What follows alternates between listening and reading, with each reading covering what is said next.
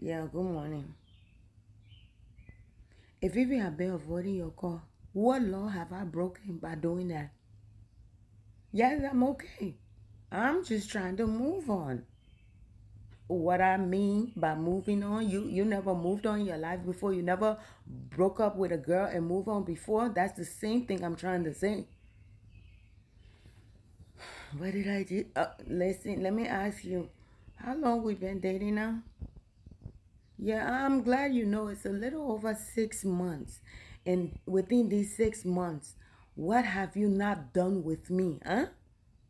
No, no, no. Yeah, the pig is out of the bag. You've met my family. I've been cooking for you. We've been doing everything. But have I met your family? No. Mm? I haven't met any of your friends or anything. God damn, you go to church, but you even said take me to your church. Golly. Not even the, the dogs in your neighborhood I've seen. Mm? Not the birds in your neighborhood I haven't seen.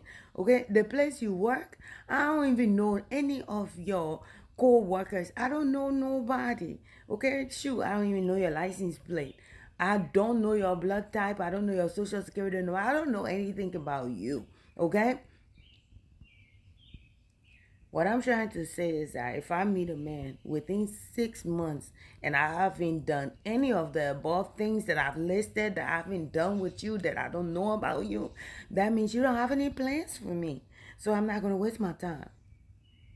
Yes, so I, I'm ready to move on.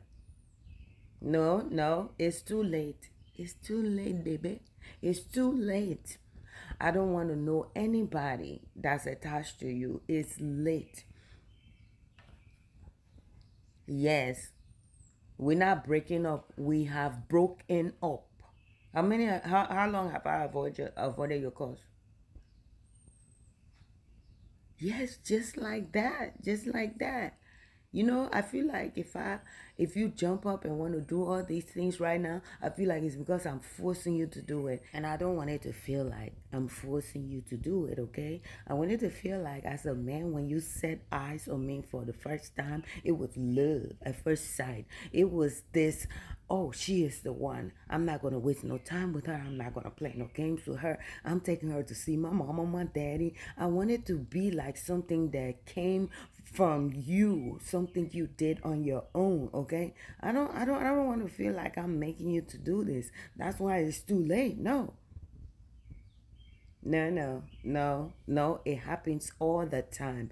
A man meets a woman and he knows right then and there this is the kind of woman that he wants. This is the woman that he wants to be his queen. She's set aside. He's she's gonna meet his family. She's gonna meet his friends. She's gonna know damn near everything about him. But no, that hasn't been the case with us. And that's why it's too late. And not because I'm saying something, you want to jump up to carry me to meet the whole world. No, no, it's too late. I, I have to move on. I'm not the one.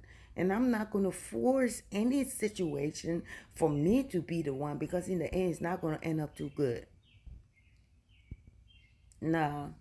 I, I, I got it. no. You gotta move on. You gotta move on. Matter of fact, I already chatting with somebody else, so you better be the side piece if you keep pull, you know, trying to push this. Yeah, yeah, yeah, yeah. You better think the truth. You better think the truth. Don't, don't, don't think about this too much. Oh please, I'm not trying to hear none of that talk. I gotta go.